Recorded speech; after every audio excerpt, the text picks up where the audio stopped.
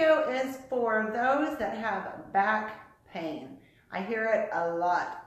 You know, everybody suffers from back pain in one time or, another in their life, but there are things you can do to help to relieve that pain along with what your doctor has you do. If you have any serious injuries or any like discs that are messed up, make sure that you um, talk to your doctor before you do any of these stretches and make sure it's okay to do them. Um, if you just have, you know, some, some pain back there or you're lifting something and you notice that, oh, now my back hurts, these are great stretches to use. I'm also going to, at the end, show you a ab exercise that is perfect for strengthening the core because the core is what keeps your back healthy. So you've got to keep your abs tight and toned. So let's go ahead and get started. First thing we're going to do is we're going to go ahead and lay down onto our back. And I want you to take one knee in at a time. Always do one at a time. Cross at the ankles. Just shake it out. Just hold those knees. You're rubbing that low back onto the ground. Okay, you're going to take your left leg, lay it down, bring the, you're going to grab it with the opposite hand. Opposite arm goes out. You're going to bring it across the body, look the opposite direction. Your shoulders are going to stay down and you can keep the knee bent if you want. You can straighten the leg if you do, if it's a little bit deeper stretch. Just don't force this. If it doesn't feel good, then don't do it. Going to come back, bring it back out. Put that hand underneath that knee. Opposite arm goes out, and you're just going to bring it out to the to the same side of that body. Just relaxing it. Make sure you breathe.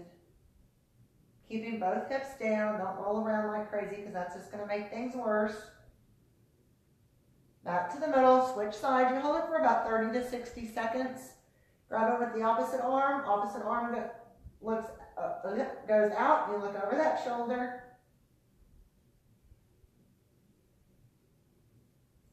Back to the middle and out to the side.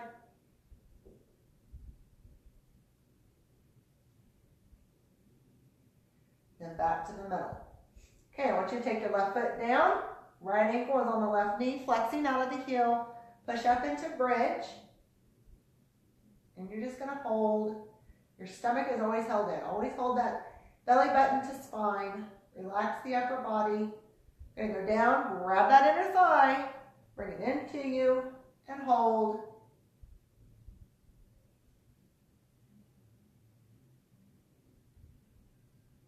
Release.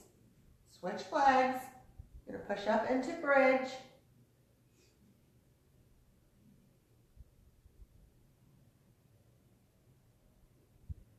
back down, grab that inner thigh. You can always put a towel underneath that leg and pull it in. So you just pull it in, relax the body. Don't force this, but this is the very best one that you can do for low back pain, sciatic pain. If you have that, you definitely want to do this one. You can do um, each of these moves, hold for 30 to 60 seconds. You can do them up to three times a day. Okay, we're going to go ahead and roll over onto all fours. You're going to take your hands, fingertips are spread underneath the shoulders, knees underneath the hip bone, feet are flat. You're going to take a deep breath in, blow it out, drop the head, and push that back up towards the ceiling. Deep breath, blow it out, just look up and drop that back. Your tailbone goes up towards the ceiling. Come back to all fours. I want you to go back into shell stretch. So your knees go out. Hands are flat. Forearms are flat. And the forehead goes to the floor. Please excuse my dogs. They are on their way in here to check on me. Thanks for checking on me, guys. I'm good. Okay, then we come up. Okay, go on. Go lay down. Okay, now that is the stretches that are the very best for you. Those will help that low back. You can do, like I said, you can do them up to three times a day. Take as long as you need. Make sure you breathe and relax during them. That will help a ton. Now for the ab exercise that is best for you. You're going to lay down onto the back. Your feet are flat. Your head is relaxed in your hands. Elbows are out wide. That low back is down on the floor. You can do these in your bed if you want. Same thing with the stretches. You can do them in your bed as well. If you're having that bad of a day, you're to take a deep breath, blow it out, come up. Chin is off the chest. Your chin is off the chest. You're looking up at the ceiling. Back down. You breathe out. Breathe in when you go down. Okay, that is the best exercise to strengthen the core, but yet protect your back. No twisting. There's no, um, you know, sit-ups or, or any of that. You don't have to do full sit-ups to be able to get a good tight tone core. So that will keep your back from hurting. And it will protect for any more um, injury that you might have.